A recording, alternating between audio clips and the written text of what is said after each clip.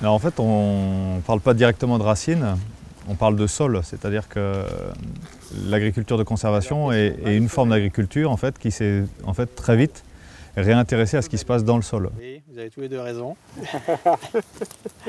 ils sont hermaphrodites, ils sont mâles et femelles à la fois. Alors il y a trois catégories de vers de terre. Souvent le Les sol est vu en fait comme une, euh, quelque chose en deux dimensions, une surface.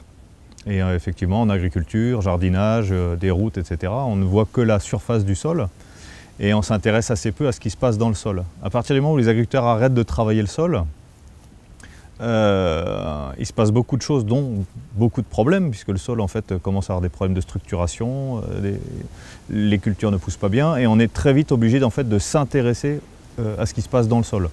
Et là, on tombe très vite en fait sur les racines.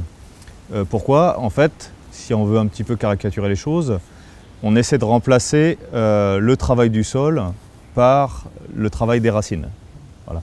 Et donc, euh, à partir de ce moment-là, bah, comment, poussent les racines, à quoi ça ressemble, euh, quels vont être leurs impacts dans le sol, est-ce qu'elles vont être capables en fait, de pousser à travers la compaction créée par les outils, est-ce que certaines vont être capables justement de réparer le dommage fait par les outils, est-ce qu'elles vont résister au trafic? Et c'est un petit peu ça, le, c'est quelque chose au, départ de, très très visuel. Donc oui, on peut dire que euh, l'agriculteur est, habitué à travailler son sol mécaniquement et la première approche qu'on peut avoir des racines, c'est euh, la racine comme outil mécanique de travail du sol. Ce qui se vérifie effectivement, la, racine va coloniser le sol, va le fragmenter, l'habiter, euh, lui donner une certaine cohésion et ça c'est un petit peu la première approche. Très concrètement, en fait, à partir du moment où on comprend que plus on va mettre, de racines dans le sol, moins on va être obligé de travailler en surface. La seule tâche des agriculteurs, ça va être de mettre le maximum de racines dans le sol. Donc ça va commencer euh, par couvrir les périodes d'interculture, qui peuvent être assez longues. hein. On peut avoir des intercultures courtes de 3-4 mois en été-automne, avant des cultures d'hiver, de, type blé, euh, colza ou autre. Ça peut être aussi des intercultures beaucoup plus longues, qui durent 7, 8 à 9 mois avant des cultures de printemps. Et là, l'objectif, ça va être de dire bah, comment est-ce que je fais pour euh, injecter, entre guillemets, le maximum de racines dans le minimum de temps pour venir coloniser mon sol, l'enrichir, le travailler. Voilà. Et c'est toute la thématique qui a été travaillée depuis euh, une quinzaine d'années maintenant sur ce qu'on va appeler les couverts végétaux, la couverture de l'interculture, où on essaie de, travailler avec des cocktails de plantes qui sont capables d'envoyer des racines euh, depuis les quelques centimètres de la surface jusqu'à un mètre de profondeur. Objectif, coloniser ou recoloniser le sol pour le, le- enfin, une terre pour qui le est travail. très pauvre. hein, euh, mais tu vois tous les trous, et les- dans les trous, il y a de la matière organique qui descend. Donc là, j'ai zoné de la fertilité. Là, les racines peuvent aller explorer ces zones-là. Malgré qu'il y ait une certaine dureté, il y a de la porosité, l'eau rentre toute seule, euh, ça fonctionne. La diversité est, euh, est primordiale parce qu'en agriculture, on fait de la monoculture. Même s'il y a de la rotation, euh, quand on installe un blé, un blé va être euh, relativement efficace sur les, 15, euh, les 10, 15, éventuellement 20 premiers centimètres de sol. Beaucoup de racines, une structure très grumeleuse, mais va être assez peu efficace en profondeur. Donc le fait en fait en interculture de mettre des plantes avec des enracinements différents, voire des mélanges de plantes qui peuvent coloniser tous les horizons, euh, c'est effectivement très intéressant. Autre exemple, le maïs, qui est un système racinaire qui peut être relativement performant, il est cultivé en rang écarté. Euh, de la même manière, dans l'un terrain, il ne va pas se passer grand-chose. Voilà. Et on retrouvera d'ailleurs la même chose en viticulture, en maraîchage, où ces notions d'écartement et de gestion d'occupation de l'espace dans l'interrang vont être aussi très importantes. On va travailler avec des cocktails de plantes en été, donc ils vont être semés juste après la moisson pour avoir en fait l'impact maximum. Et on va travailler avec des mélanges qui vont varier entre 4, de 4 à une dizaine d'espèces, voilà, dans la famille des, euh, des graminées, des composés, des légumineuses, euh, plus quelques autres, euh, voilà, pour couvrir le sol dessus et dessous. Après non plus, il n'y a pas de magie, c'est-à-dire que quand les sols ont des, ont des problèmes de structure, euh, on ne va pas pouvoir le réparer en quelques mois avec des cocktails de plantes. Euh, on risque d'avoir les racines qui se bloquent à un certain niveau. Donc après, en fonction de la texture des sols qu'on va avoir, soit on a des sols hein, qui ont suffisamment d'argile pour retravailler un petit peu en été, et dans ce cas-là, en fait, les plantes vont effectivement pouvoir coloniser le sol en profondeur.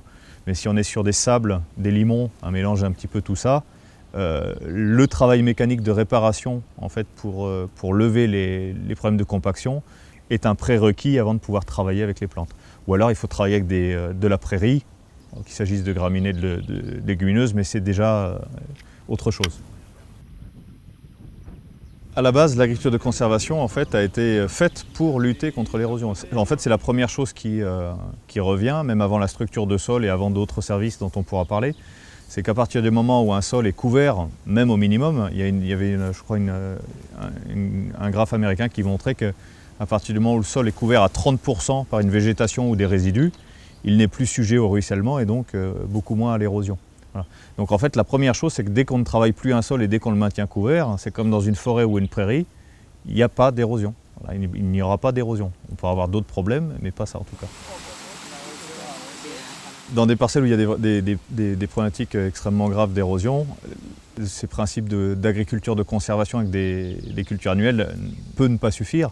Et après, on, peut combiner euh, beaucoup d'autres techniques, qu'il s'agisse effectivement de, l'introduction de, ligneux dans le système.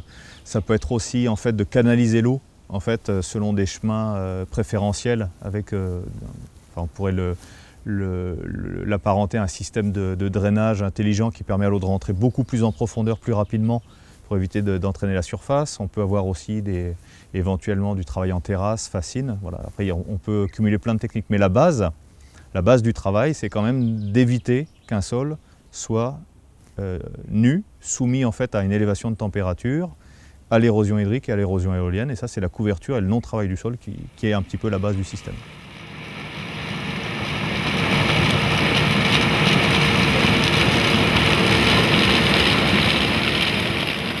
Donc ça a été mis en lumière en fait par des chercheurs américains, euh, Amérique du Nord dans les années 30, puis dans les années 70 au Brésil, avec euh, la modernisation de l'agriculture et puis d'énormes problèmes d'érosion qu'on ne connaît pas chez nous, parce que là-bas on est sur des, sols des, climats tropicaux, donc des précipitations, des températures qui font que l'érosion, en fait, euh, si on laisse un sol s'éroder, en quelques années, il n'y a plus de sol. Voilà, chez nous, c'est un petit peu plus lent. Euh, et on a découvert ça chez nous, on va dire, à la fin des années 90. Donc ça fait quand même une, euh, vingtaine d'années.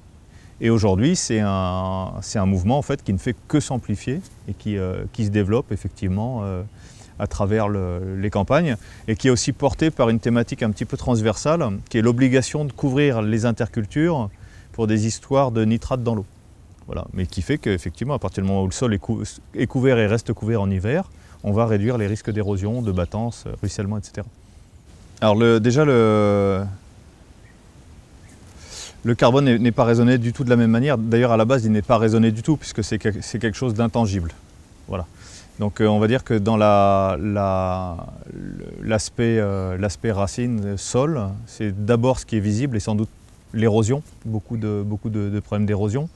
Et on a aussi une problématique économique qu'on n'a pas abordée, c'est qu'à partir du moment où on arrête de travailler le sol, on fait de grandes économies, et euh, notamment économie de mécanisation. Et là, on va retrouver la question du carbone un petit peu inversée, c'est-à-dire que si j'arrive à cultiver en, consommant deux fois, voire plus de deux fois moins de fuel, en fait, euh, j'ai gagné. Euh, voilà. également sur l'effet de serre. Mais ça, c'est une problématique qui annexe l'effet de serre, le réchauffement climatique.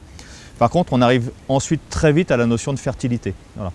Et euh, quand on parle de fertilité en agriculture, on parle d'abord d'azote, puisque c'est ce qui coûte cher. Euh, d'acheter de l'azote, ça coûte très très cher. Et quand on se rend compte qu'en fait la problématique carbone et azote sont extrêmement liées, donc la, thématique des, cycles des éléments minéraux, le cycle de la photosynthèse, euh, minéralisation, etc. Et là, on touche à un, enjeu très très important du, problème. Et le carbone n'est plus du tout vu en fait comme un, élément à stocker, à préserver pour éviter le réchauffement climatique, mais il est plutôt vu comme le carburant de l'écosystème sol. Et là, c'est beaucoup plus intéressant en fait. C'est son, aspect énergie, l'énergie qui est contenue dans la matière organique, euh, qui va servir à euh, travailler mécaniquement le sol en nourrissant l'activité biologique. Et en fait, on, renverse un petit peu la proposition. C'est plutôt l'économie du carbone qui est importante plutôt que les stocks. Voilà. Euh, on peut très bien stocker des, montants, des, tonnes de carbone dans un sol agricole, accumuler du carbone et donc faire des bilans très favorables euh, au niveau climatique et avoir des sols qui ne fonctionnent plus du tout. Voilà, parce que l'essentiel euh, en agriculture, en culture annuelle en tout cas, ça, ne va pas être d'accumuler du carbone dans les sols. Alors ça va être quand même de retrouver un certain niveau de carbone, puisqu'on en a déstocké beaucoup. Mais dans un deuxième temps, c'est d'avoir un cycle du carbone qui fonctionne, qui soit ample et qui soit rapide. Et c'est à cette condition-là qu'on pourra produire mieux, plus, avec beaucoup moins. La clé de la fertilité des sols repose sur la réintroduction des légumineuses qu'on va donc réintroduire en interculture. Et donc on va les, va, on va les, combiner systématiquement en interculture avec d'autres plantes, ben, effectivement pour stocker beaucoup d'azote, beaucoup de sucre, qui vont être un réservoir d'énergie pour l'activité biologique, activité biologique qui va pouvoir nourrir la culture qui suit. Voilà. Et on arrive à des résultats très très intéressants puisqu'on arrive à produire en, à peu près trois mois, entre le mois d'août et le, mois d'octobre, de 4 à 8 tonnes de matière sèche. Voilà. Et sachant qu'on va compter à peu près 30, 30 kg d'azote hein, pour, les, pour, pour, les mélanges qui nous concernent, on va donc pouvoir produire entre 100 et 200, voire parfois 250 euh, et un petit peu plus, kilogrammes d'azote par hectare avec le carbone qui va, qui va avec. On a eu longtemps l'idée de la racine comme euh, en fait un, organe végétatif qui était là pour aspirer une solution du sol dans laquelle étaient dissoutes des éléments minéraux, etc., nourrir la plante, ancrer la plante.